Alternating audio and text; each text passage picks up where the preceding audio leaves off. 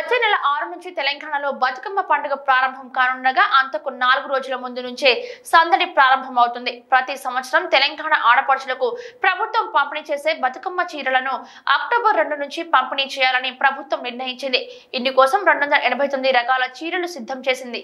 సిరిసిల్ల చేనేత కళాకారులు తయారు చేసిన ఈ చీరలు ఇప్పటికే అన్ని జిల్లాలకు చేరాయి. పంపిణీ కోసం ఏర్పాట్లు చకచకా జరుగుతున్నాయి. అయితే హుజరాబాద్ నియోజకవర్గంలో మాత్రం వీటి పంపిణీపై సందేహాలు నెలకొన్నాయి. అక్కడ ఉప ఎన్నికకు నోటిఫికేషన్ విడుదలైన నేపథ్యంలో కరీంనగర్ హన్మకొండ జిల్లాలో చీరల పంపిణీ ఎలా అన్నదానిపై అధికారులు మల్లుగుల్లారు పడుతున్నారు. ఎన్నికల సంఘాన్ని సంప్రదించిన అనంతరం ఈ జిల్లాలో చీరల పంపిణీపై నిర్ణయం తీసుకోనున్నారు.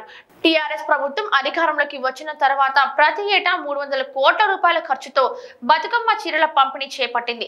ఈసారి మాత్రం ఇందుకోసం మూడు వందల పద్దెనిమిది కోట్ల రూపాయలు ఖర్చు చేసింది. పదిహేడు రంగులు పదిహేడు డిజైన్లతో కలిపి మొత్తం రెండు వందల ఎనభై తొమ్మిది వర్ణాలలో ఈ చీరలను ఆకర్షణీయంగా తీర్చిదిద్దారు.